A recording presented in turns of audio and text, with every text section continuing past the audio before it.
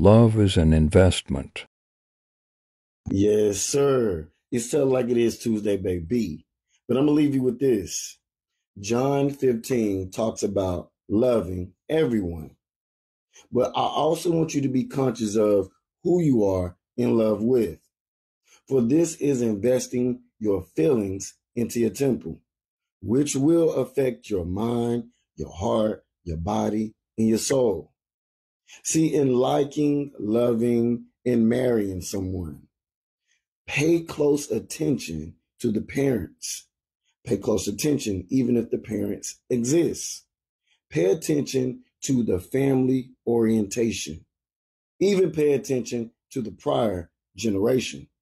For this is so important because some of you are struggling in your love because you don't realize that you are battling generational curses by loving them.